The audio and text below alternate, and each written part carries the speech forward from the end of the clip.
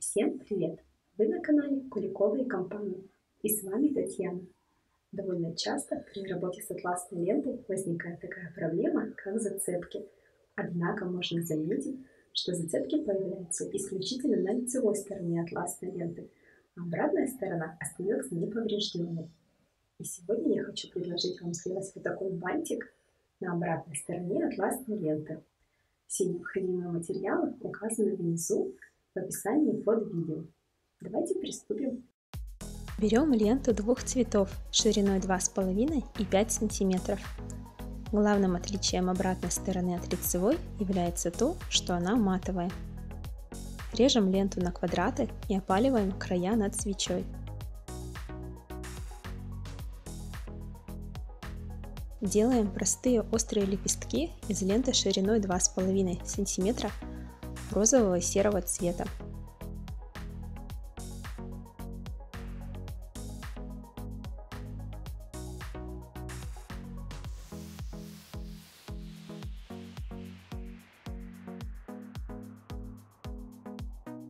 Крученые лепестки делаем справа налево, также из ленты 2,5 см, двух цветов, серого 6 штук и розового 5 штук.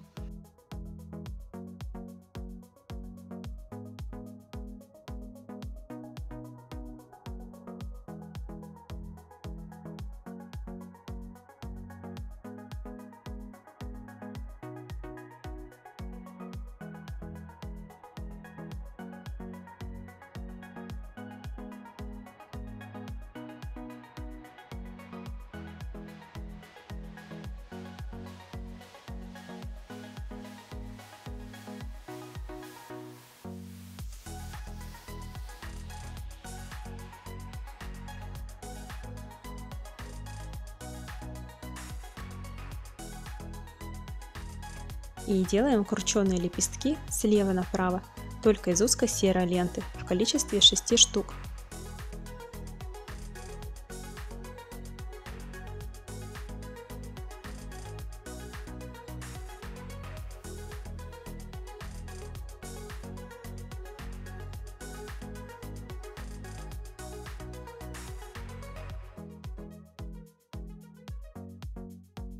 Двойной острый лепесток делаем из больших квадратов.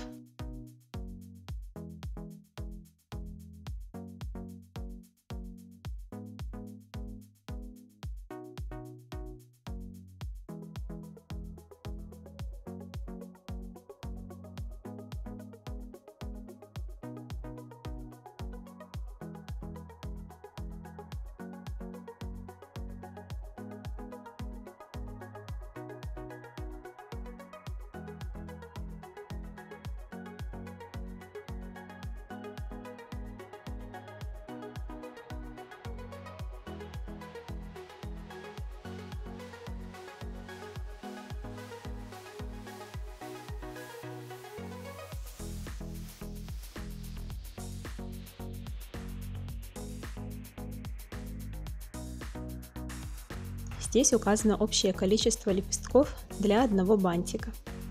Помним, что крученные острые лепестки серого цвета делаются в двух вариантах. Собираем большие лепестки для нижнего ряда вот таким образом.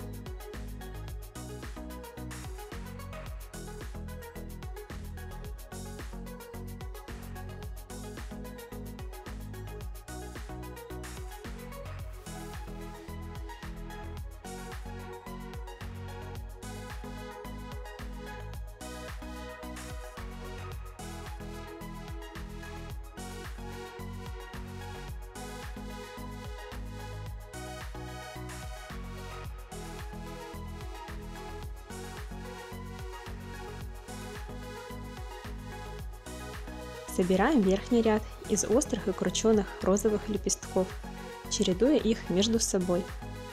И добавляем белые бусинки диаметром 4 мм в острые лепестки. Всего 5 крученных и 5 острых лепестков.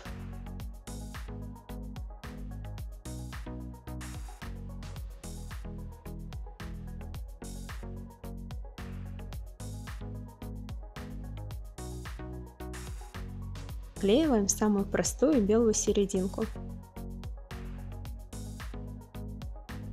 На кружок из фетра диаметром 4 см приклеиваем большие лепестки.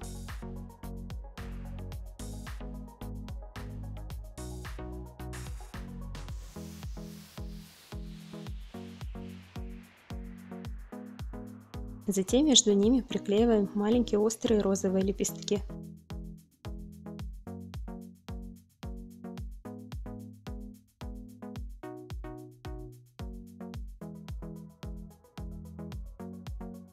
Сверху приклеиваем верхний ряд.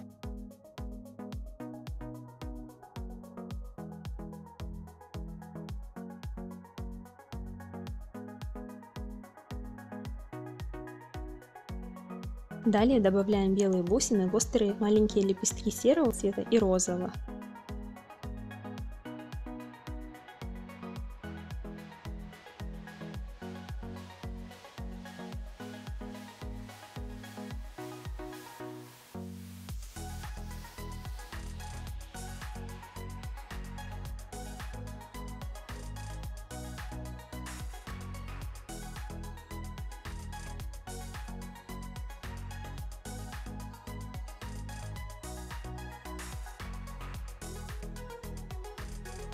Приклеиваем бантик к заколочке.